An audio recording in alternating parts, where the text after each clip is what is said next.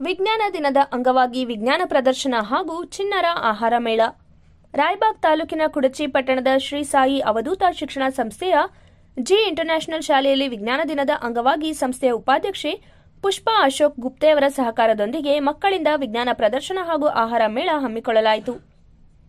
ವಿದ್ಯಾರ್ಥಿಗಳಿಗೆ ವಿಜ್ಞಾನದ ಪ್ರಾಯೋಗಿಕ ಅರಿವು ಮೂಡಿಸಲು ಮತ್ತು ಮಾತು ಬಲವನಿಗೆ ಜಗಳವಿಲ್ಲ, ಊಟ ಬಲವನಿಗೆ ರೋಗವಿಲ್ಲ ಎಂಬ ಗಾದೆ ಮಾತಿನಂತೆ ಮಕ್ಕಳಿಗೆ ಆಹಾರ ಸೇವನೆಯಿಂದ ದೇಹಕ್ಕೆ ದೊರಕುವ ಪ್ರೋಟೀನ್ ಪೋಷಕಾಂಶಗಳ ಅರಿವು ಮೂಡಿಸುವ ಪ್ರಯತ್ನವನ್ನು ಮಾಡಿದರು.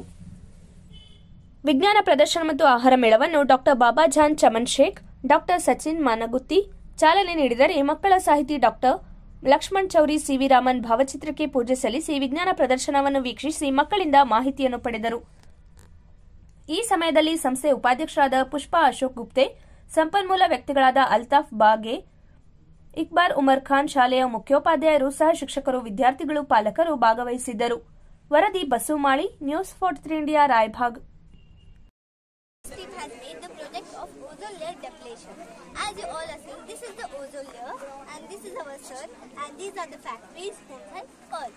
So, I want to say few lines about the ozone layer. The in the earth's atmosphere that contains high concentration of ozone and protects our earth from the harmful ultraviolet radiations of the sun. As I have told, the ozone layer protects our earth from the sun's and the sun's high UV rays.